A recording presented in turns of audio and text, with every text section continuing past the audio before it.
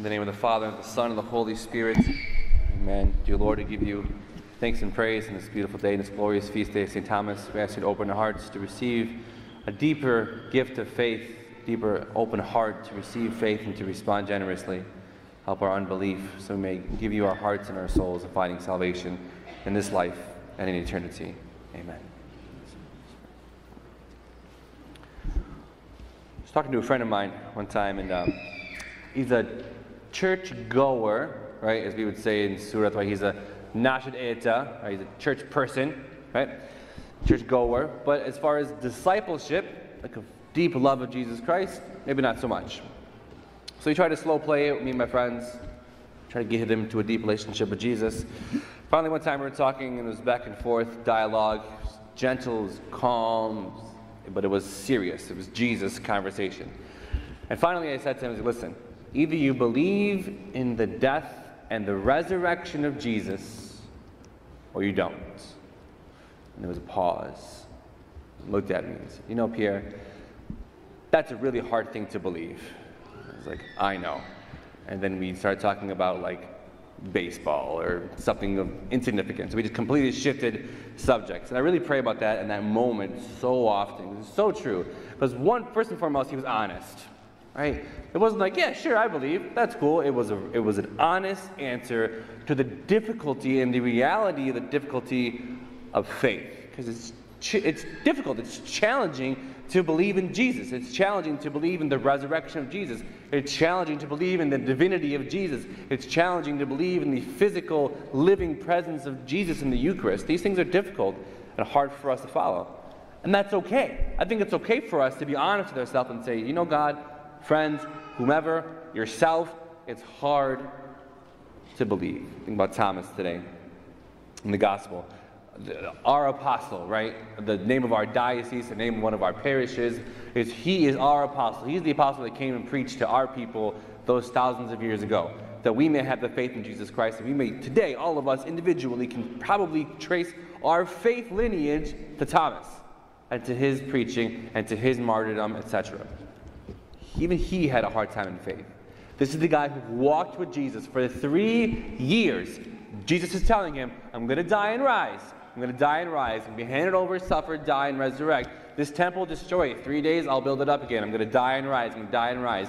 And then Jesus dies, and he rises, and Thomas isn't there, but the ten apostles see Jesus, and they tell him. So not only did Jesus prophesy about it and then actually do it, the ten apostles who are left, they listen, Thomas, we saw this actually happen. Still doesn't believe.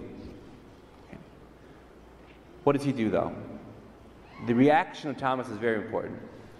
He articulated that it's difficult and challenging to believe in the resurrection of Jesus. Fine, it's important for us to all understand that as well.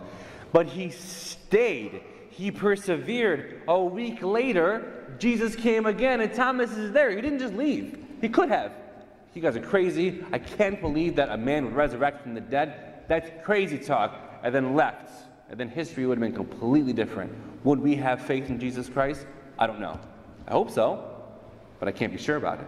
Because this man's preaching is what changed our side of the world. And because he endured, because he persevered, Christ obliged him. So for us as well, in our own difficulties of faith, because we will have difficulties of faith, if you just like believe completely free, like, yeah, I believe in Jesus Christ with no problems, there's never a doubt in my mind, but really question the depth of your faith.